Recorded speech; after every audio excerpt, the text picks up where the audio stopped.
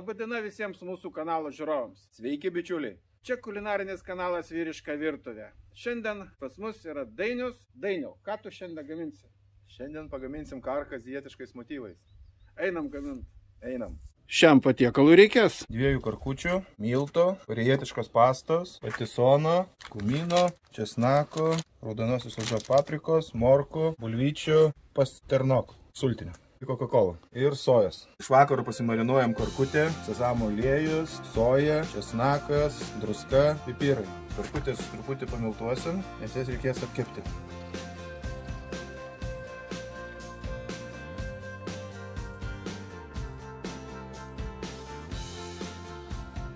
Karkutės truputį įpjovėm, padarėm įpjovas, kad pagreitint procesą visą. Na viskas, įkais grilius, dėsim apkepinėti karkas. Pilame aliejaus, laukiam kol užkais. Tu čia atsivežiai tokį įdomų griliuką? Jo, čia Proflame Pro. Kamado kelioninis griliukas? Taip, labai patogus nusivežti į gamtą, bet kur. Vėl laikas dėti karkutės.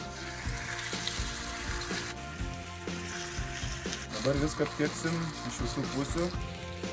Apvirksim. Ir vėl kepam.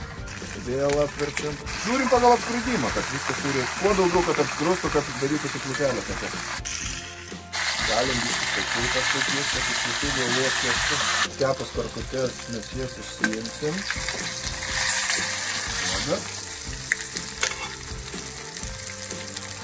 Ir tada kepsim daržovę.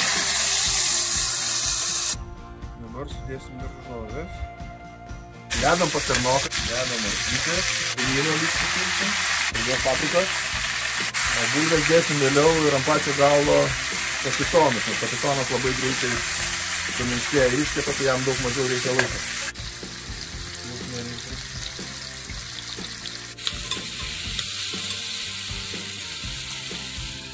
Dabar susipjaustysim patisoną.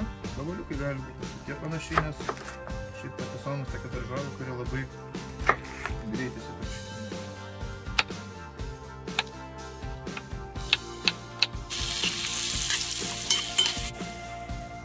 Apkepus daržovėm, dabar įpilsim sultinuką.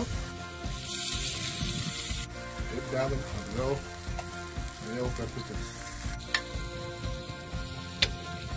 Dar didėsim korėjietiškos pastos. Kokį pusę šaukštelį. Juoda tokį malonų aštrumą. Didieji darbai padaryti, dabar reikės tik tai laiks nuo laiko pažiūrėti, kad būtų sultinuko. Ir viskas. Česnako gramų mes išvisėsim.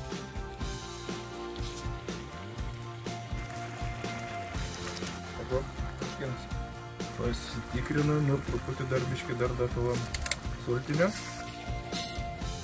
Ir verčiam kartutės. Pridėsim dabar bulvyčių. Gal čia labai nesvarbu, bet... Mylim, labai gerai. Svarbu karkos daug. Nu, karkas užtektinai bus.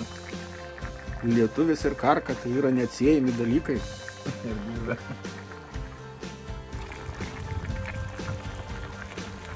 Po laiks nuo laiko vėl turbūt iškės apkarčiam.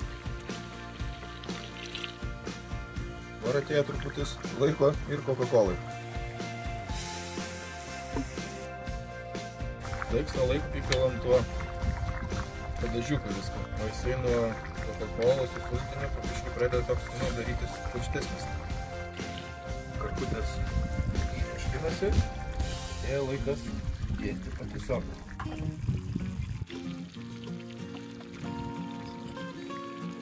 Jau traškinas.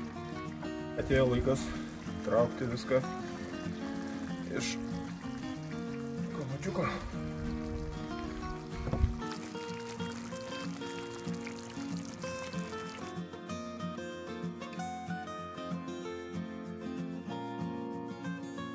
Pagamino Dainis, vyriškos virtuvės kanalo Grill šefas.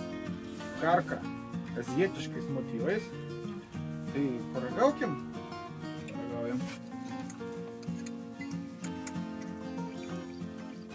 Karka yra karka, aš tau pasakysiu. Jo. Mm. Daržovės puikiai. Pasakiškas skonis. Minkšta minkštutė karka. Čia laukia. Tos karkos visi. Tai pasiteisino tas griliukas kelioninis, ne? Taip labai patenkintas, patogus. Galima atsivežti, kur nori, į gamtą, pas draugus. Ir va pagaminti tokią skanę karką. Viskas super. Rekomenduoju visiems pamėginti griliai pasigaminti pagal šį receptą karką. Beje, panašią karką Dainius gamino Beatos virtuviai. Nu tai sveikinu Dainius, labai geras tavo receptas. Dėkui. Jeigu dar nesate užsiprenumeravę mūsų kanalą, būtinai tai padarykite dabar. Linkime visiems geros nuotaikos ir gero apetito. Iki pasimatymo. Iki.